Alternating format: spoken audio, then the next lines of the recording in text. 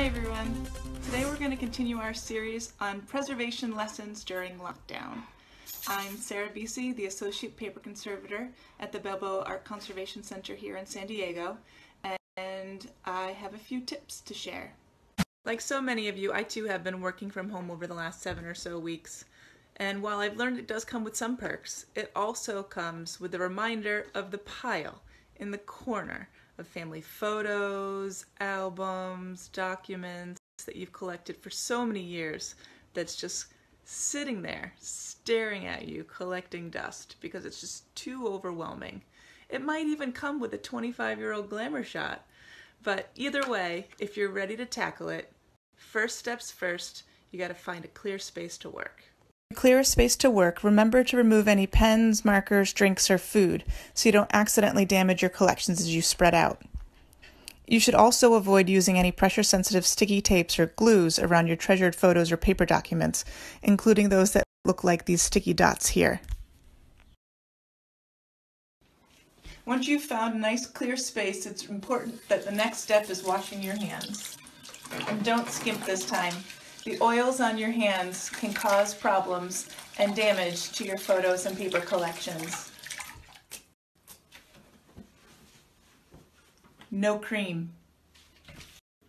While you sort through what you have, try to handle any photos just by the edges and support any fragile papers or photos from below so that they don't get damaged.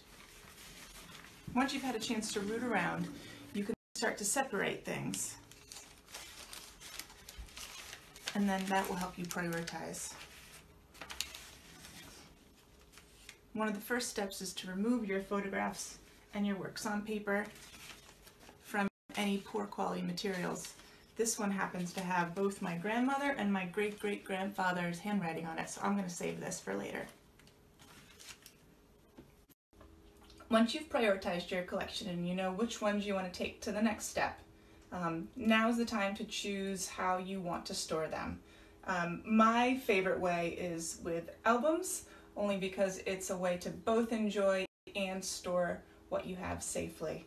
Um, for me, I've chosen this album that I've um, I've picked out because of the quality of the paper.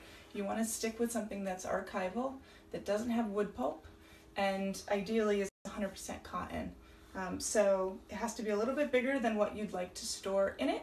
Um, and then you can use things like photo corners um, to, to uh, secure them on the pages and I can show you that later on. One thing to keep in mind when you're rehousing things, um, binders are also a useful option um, and there are some plastic sleeves that you can buy that are also um, safe and archival quality. Just don't do what my grandpa did don't put holes for your three ring binder through your documents.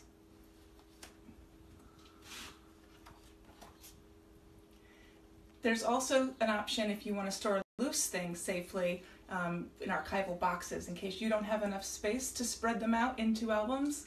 Um, there are paper sleeves and plastic sleeves that are good quality um, that you can purchase and store things so you don't have to worry about them. Here are a few more tips for handling and rehousing your collections. When organizing your photos, be careful not to pull them apart if they're stuck together. This will likely cause irreversible damage. If you're concerned and they're important to you, please call a conservator.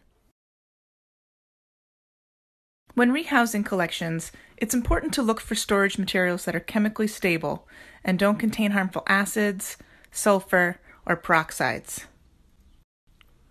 If you prefer paper folders, envelopes, or albums, look for keywords such as lignin free, 100% rag, alpha cellulose, or passed the PAT test.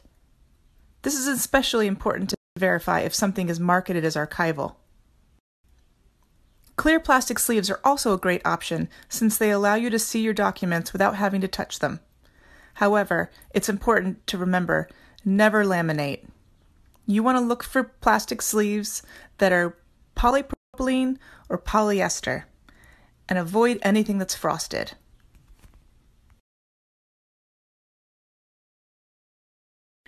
When putting an album together, look for polypropylene photo corners. Self sticking options are available from reputable manufacturers. Just be extra careful that the sticky side only comes in contact with your album page and not your documents. When you're ready to put everything back into storage, remember where your collections live play a large part in how long they last. There's three hazards you want to keep your collection away from. That's light, heat, and humidity.